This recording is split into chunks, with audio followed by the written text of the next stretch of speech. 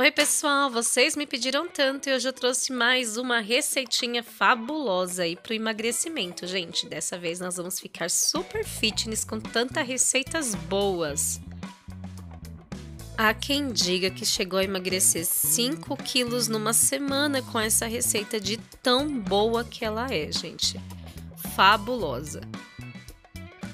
Todos os ingredientes desta receita são fabulosos para quem está buscando os ingredientes a menos aí na balança. Vamos começar com o nosso queridinho, que é o limão. Gente, limão é uma grande ajuda para quem quer emagrecer, porque ele desintoxica todo o organismo. Ele desincha o corpo, ele aumenta a sensação de saciedade, ou seja, você utilizando limão, você vai se sentir mais cheia, você vai se sentir saciada, não vai sentir tanta fome. Além de tudo isso, gente, você acredita que o limão limpa o paladar? Ele tira a vontade de comer alimentos doces que engordam pra caramba, né? Então, olha, o limão já vai dar aquela ajuda ótima.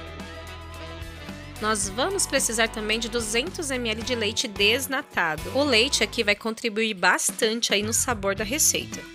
Pessoal, se você quiser utilizar nessa receita ao invés do leite a água, é melhor ainda, pode utilizar que olha, é top, que tem menos calorias.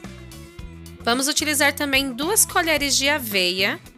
Gente, a aveia também é uma ótima aliada na perda de peso, porque ela é rica em fibras, então dá também aquele poder de saciedade. E por último, a nossa queridinha, que é ameixa seca. Vamos utilizar 5 unidades. Elas auxiliam aí no controle do apetite. E ela, juntamente com a aveia, vai dar todo o apoio no trânsito intestinal. Então, seu intestino vai funcionar como um reloginho a partir de agora.